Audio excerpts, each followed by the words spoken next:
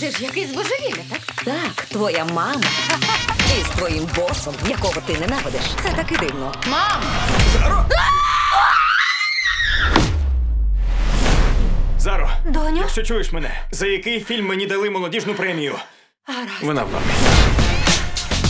Я втратила голову, але ж маю право. Я чекав на тебе все життя. Це репліка з фільму. Щохвилини стає дедалі гірше. Та я була його асистенткою два роки і добре його знаю. А він самозакоханий та егоїстичний. Ти поклала мою шатуш із брудними кросівками, поліетилен. Речі з нею унікальні, їх у мене лише дві. Він її скривдить. І мені доведеться його вбити. Мені страшно. Це нормально. Запитай себе, ким я була, поки не стала всім для всіх. Все це, щоб просто поговорити. А ти завжди так вдягаєшся, щоб поговорити. Це все через тебе. Чому я так ніяковію? Мабуть, я хочу тебе вразити, але знаю, що не вражаю.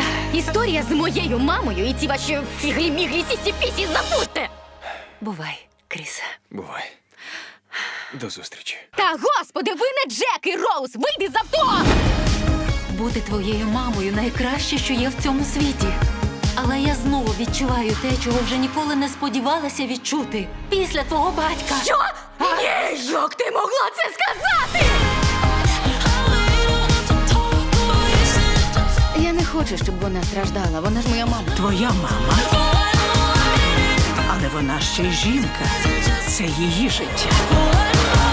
Яка з мене користь, якщо я не переконаю рідну онуку дозволити такому красенню приїхати до нас на Різдво? Ти завела ще більше, ніж я. Так.